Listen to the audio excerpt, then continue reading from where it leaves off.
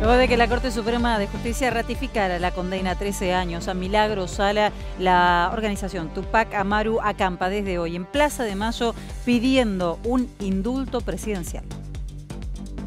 Es mucho más constitucional que, que Milagro Sala esté libre que que esté presa. Si vamos a hablar de constitucionalidad, es eso.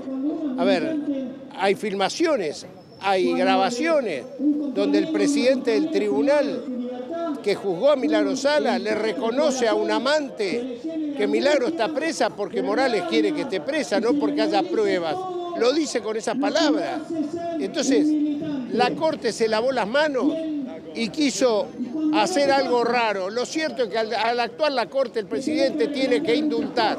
No cabe otra. Estamos terminando el año nuevamente movilizados, comprometiéndonos en esta movilización, en esta lucha para que se democratice el sistema judicial, para que deje de ser un instrumento de persecución a los luchadores populares y a las luchadoras populares y para que se termine esta situación brutal, criminal, de más de siete años de prisión, Milagro Salas.